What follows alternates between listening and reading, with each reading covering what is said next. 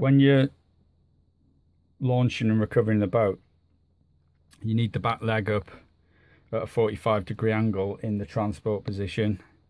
And how you do that, you've got to switch it on, lights will come on, and if you notice, you trim the boat by pressing down on that button and it shows you the angle. Now when you get past 5 it won't let you do it anymore.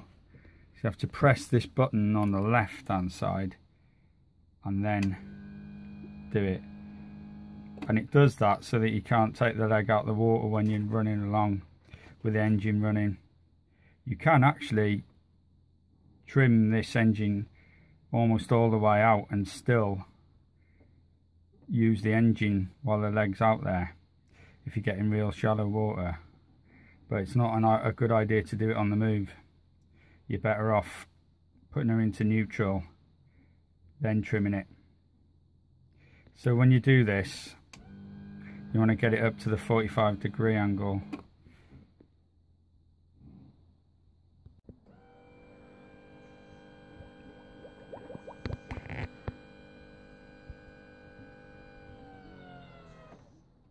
There we are. And there she's in the transport position. And it's butting up against a nice piece of rubber at the top. Ready to go. And back down again.